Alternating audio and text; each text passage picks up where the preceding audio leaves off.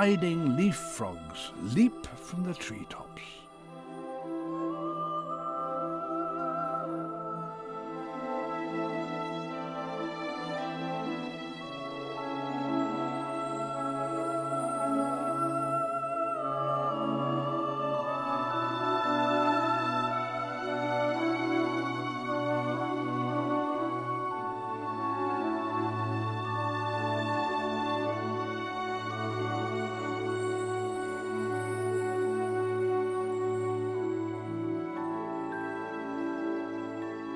To slow their descent, they use their huge webbed feet as parachutes.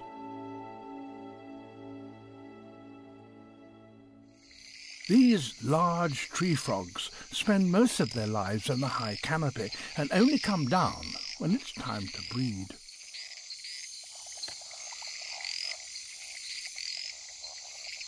Once settled, they begin to serenade their unseen females.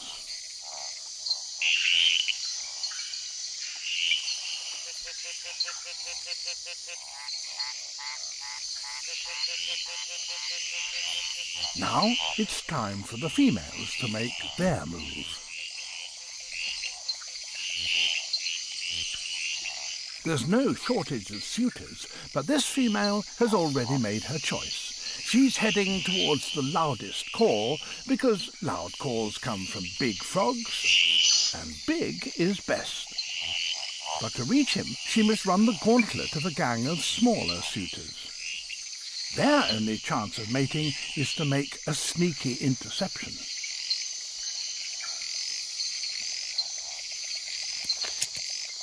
He scored. But with more females arriving all the time, it's not over until the fat frog stops singing.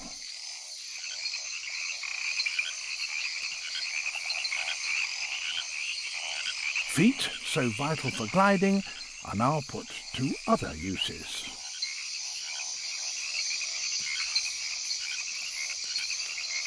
Two's company, three's inconvenient. But in any case, all male frogs are equipped with dry thumbs, which enable them to get a vice-like grip on their moist partners. It's a case of first come, first served.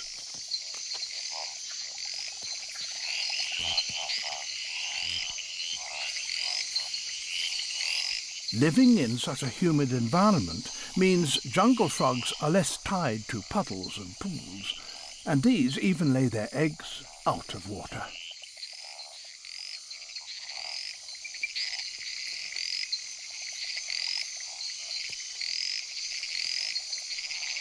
There's little chance of them drying out, and up here they're safer from predators. The big storm is the cue for the most important climb of this frog's life. It's a male in search of a mate. But if he is to find one, he has to get to the top.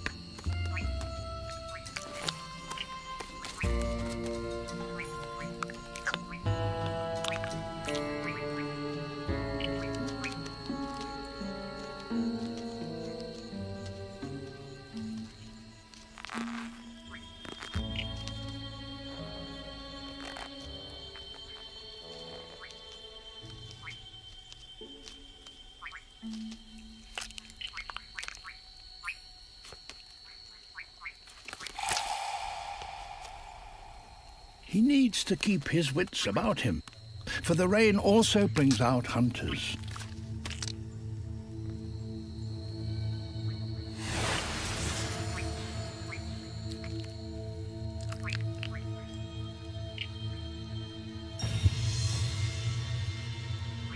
Easy does it.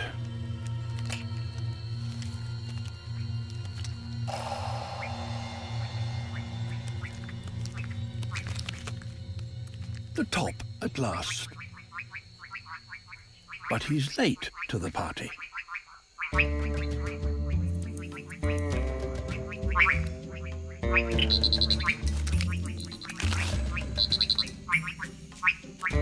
The higher a male sits, the further his voice will carry.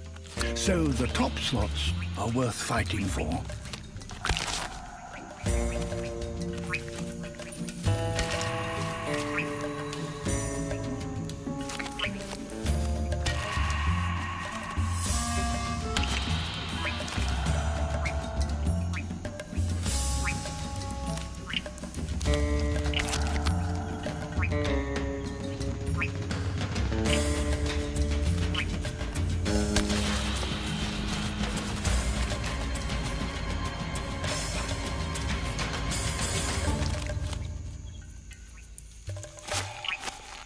And he's won.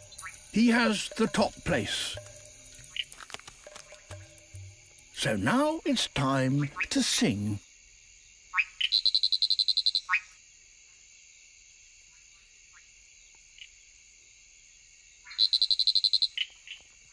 And a white-bellied female responds.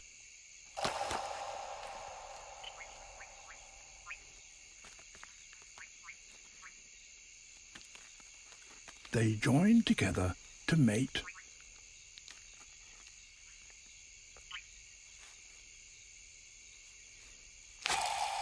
The loser will have to wait for the next storm before he sings again.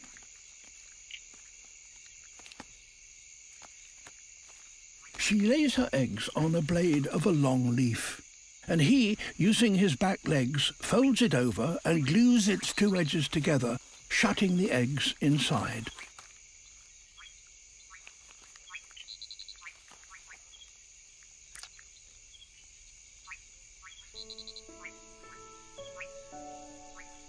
This sealed nest is the safest place these leaf-folding frogs can find to protect their precious brood.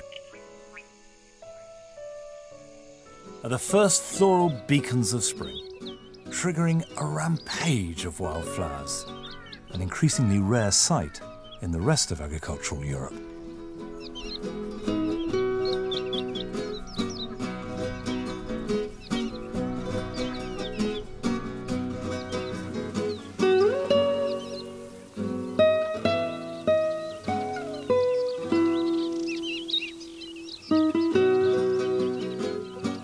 Mediterranean catchfly forms pink saucers around the cork oak trunks evergreen umbrella-like canopy provides welcome shade for these light-sensitive flowers.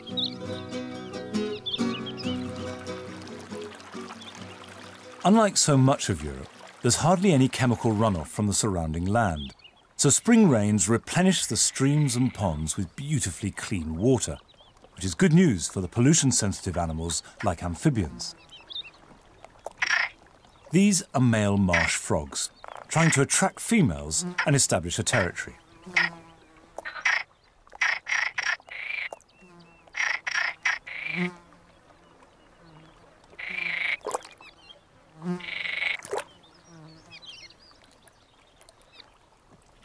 In the slower moving rivers and pools throughout Alentejo, striped-necked terrapins are abundant.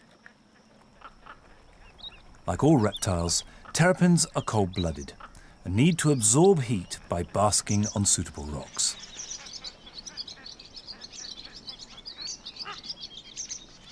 Throughout early spring, barn swallows use the mud they collect from the margins of the pond to construct and repair their nests.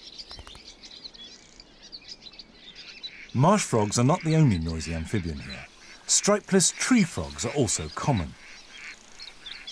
They reserve their mating chorus until nightfall.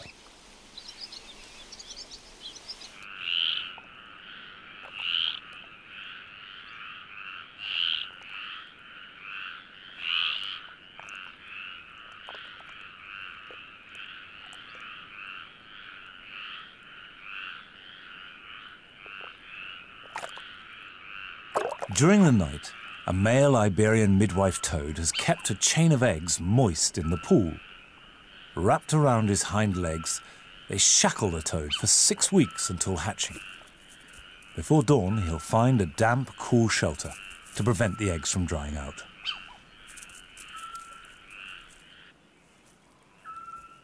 Fire salamanders hunt for invertebrate prey throughout the night.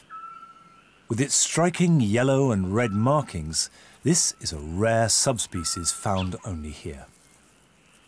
It will also hide up during the day, as too will the spadefoot toad. Using its shovel-like rear feet and corkscrew body movement, the toad buries itself in the soft soil of the cork forests before the end of the night. During all the time I was in Japan, there was one place that caught my imagination more than anywhere else. It's a small island called Yakushima. Probably the most biologically diverse place in this entire country, certainly the most exciting destination for a naturalist. But I never quite got the chance to come here. Until now.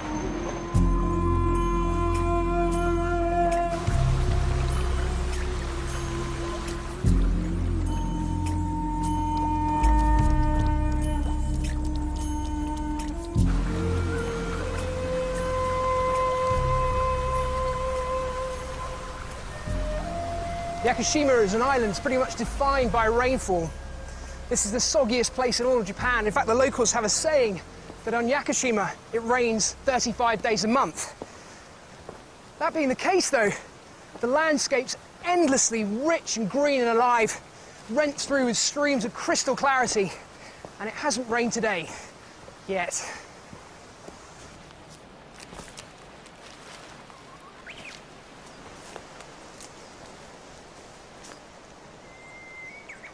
This divine mossy forest is a botanist's dream. It's almost like a film set, really, with all the trees draped in epiphytes and vines. Every piece of dead wood or tree root is covered with at least four or five different species of moss, peppered through with fruiting bodies. You sort of expect to find some mystical creature hiding behind each one.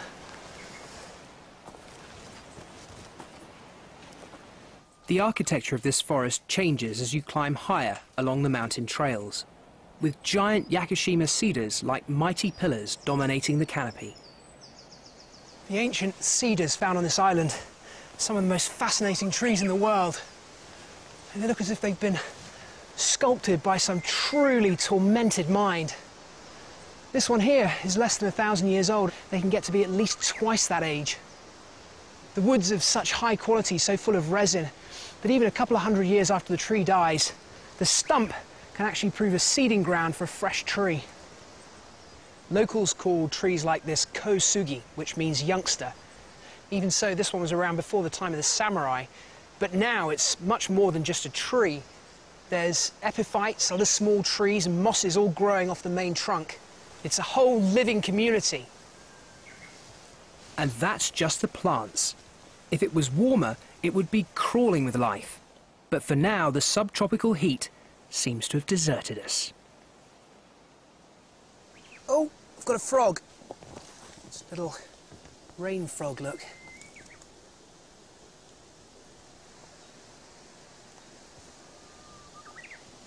Yakushima's absolutely perfect habitat for frogs.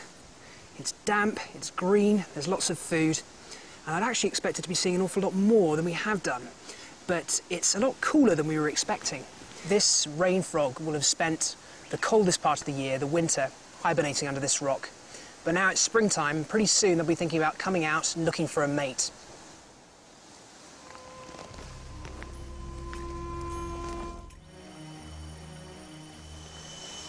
It's the Rajah Brooke's birdwing. It's got the most impressive wingspan these are incredibly rare here. The simple fact that they're so beautiful that collectors will pay immense prices for them. Apparently, if you can get a live specimen to Japan, they can be worth about as much as a thousand US dollars each. They're far better out here on the wing. The steep canyon sides are home to some very specialized creatures. This frog has evolved to live on the slippery waterfall rocks and is an expert at avoiding capture. Professor Tyrone Hayes has been chasing frogs since he was a child.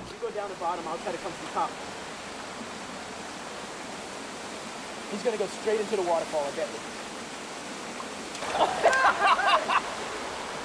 what it does is it leaps into the waterfall to escape predators or scientists that want to collect it, and that's exactly what he did. Rather than jump back, he went straight over the boulder. Hammerhead flatworm. Bizarre.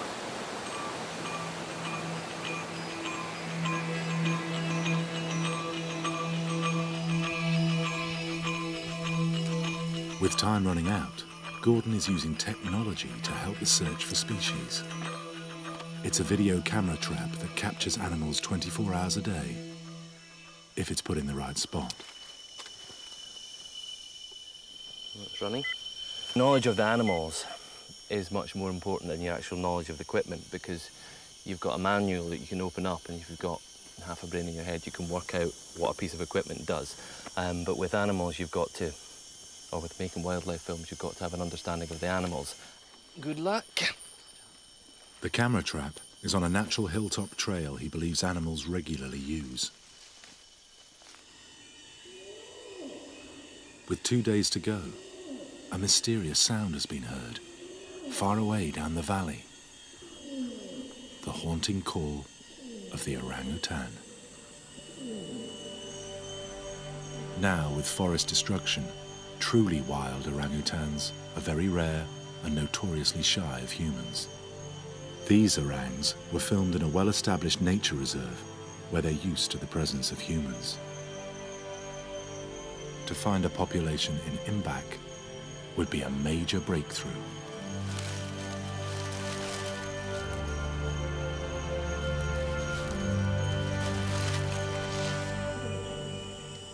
This call is the first evidence that orangs live in the canyon. Justine is off in pursuit. She follows the river all the way down to the edge of the canyon. We didn't think there were orangs around here at all. We haven't found any around our camp. Um, no signs, no nests, nothing. So uh, this is a bit further afield. We followed the Imbak down and, um, you know, there's definitely orang around here, so that's great. Maybe there's more than one. Who knows? But she's probably on some sort of circuit and she'll come back if, she's, if this has got fruit on it. The remains of the orang's favourite food, figs, lie all around. Quite a perfume smell. Very soft. Justine decides to use the highest tree in the area as a lookout post. But I could hear them. They're proving elusive so far. Fingers crossed today will be the day. Or there'd just be stingless bees to annoy me and that's it. Mm.